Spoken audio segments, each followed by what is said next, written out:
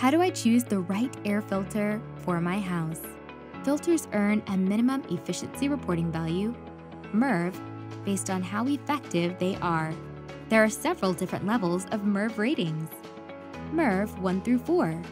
This level works best if you want a cheap filter that keeps dust off the equipment, but isn't needed to improve indoor air quality. MERV 5 through 8. This level is the ideal range for most homes. It's great at capturing smaller particles that aggravate allergies without restricting airflow. It captures 70% of 3 to 10 microns. MERV 9 through 12.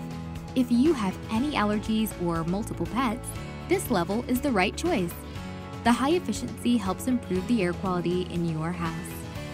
It holds 90% of 3 to 10 microns and 35% of 0.3 to 1.0 microns. MERV 13 through 16.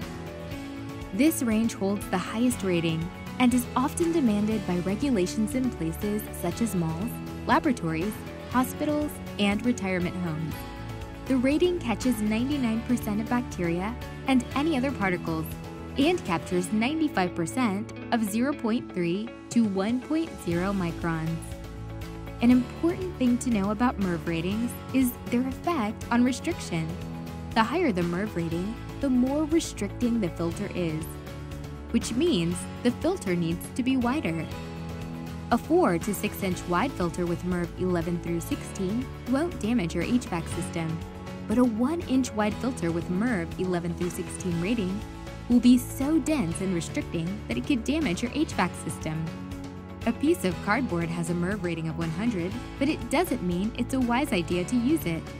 So if you can only use 1 inch wide filters, we recommend using 5 to 8 MERV only. If your equipment can fit in 4 to 5 inch wide filters, then you are in luck and can use up to MERV 16. For more tips on your heating and cooling system, please subscribe to our YouTube channel.